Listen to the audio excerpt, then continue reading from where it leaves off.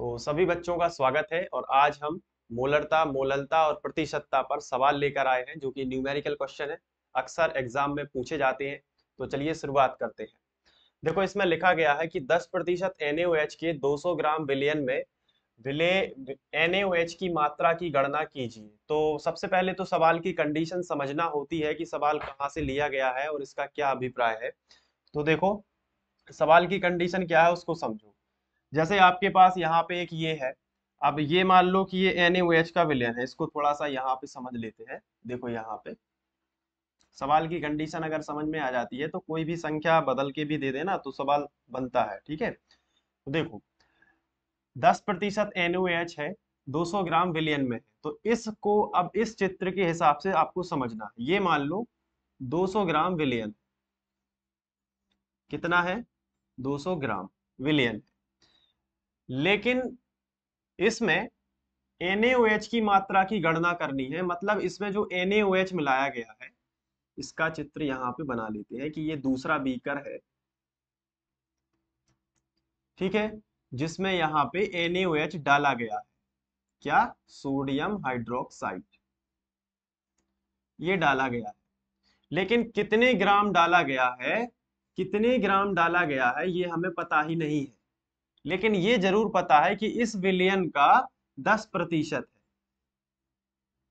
तो इसका मतलब है कि एनएच का जो प्रतिशत है एनएच का जो प्रतिशत है, वो कितना है? 10 प्रतिशत। हमें ये दिया गया है कि एनएच इस विलियन के अंदर 10 प्रतिशत है। लेकिन ये नहीं दिया गया है कि कितनी मात्रा में है। तो प्रतिशतता से हमें पता चल गया, जैसे क्वेश्चन एग्ज़ाम में आएगा तो यहाँ पे प्रतिशत लिखा है ना तो उससे आपको ये अंदाज़ा लगा लेना कि ये प्रतिशतता का सवाल है। तो देखो, प्रतिशतता में क्या होगा, जैसे अगर हम इसको देखें तो हमें जो दिया गया है उसको लिखेंगे। सबसे पहले बड़े ध्यान से समझिए।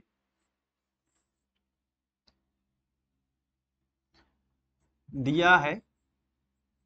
क्या क्या दिया गया है? ध्यान से बताओ। विलियन की मात्रा दी गई है ना? विलियन की मात्रा। कितनी दी गई है बताओ? विलियन की मात्रा कितनी दी गई है? 200 ग्राम विलियन है ना? तो यहाँ पे आपको लिख देना है 200 ग्राम। अब विलेय का प्रतिशत, यानी प्रतिशतता दी गई है NaOH की। तो NaOH NaOH की प्रतिशतता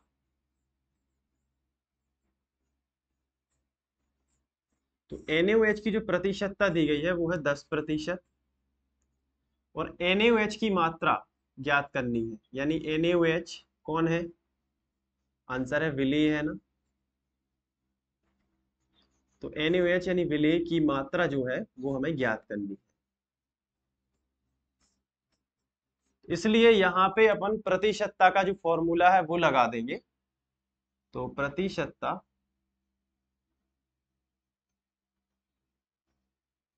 बराबर क्या होता है? विलेय की मात्रा या विलेय का भार या विलेय का द्रव्यमान, कुछ भी लिख सकते हैं। तो विलेय की मात्रा। बटे विलियन की मात्रा, ये प्रतिशतता का फॉर्मूला है, मैंने आपको बताया है। विलियन की मात्रा और गुणित कितना कर देना है, सौ। बताओ, प्रतिशतता कितनी दी गई है? दस प्रतिशत तो प्रतिशतता के नीचे लिख लेना दस। विलय की मात्रा कितनी दी गई है? विलय की मात्रा ज्ञात करना है तो विलय की मात्रा ज्यो का त्यों लिखेंगे। आप चाहें तो इसे एक्स भी मान सकते हैं।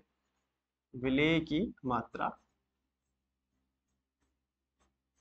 और बटे विलियन की मात्रा कितनी दी गई है? 200 और गुणित कितना है? 100 तो दो ज़ीरो से दो ज़ीरो कैंसिल। तो यहाँ बटे में कुछ नहीं है तो एक कर सकते हैं तो त्रिया गुणा हो जाएगा। विलेय की मात्रा एकम विलेय की मात्रा। विलेय की मात्रा। ठीक है?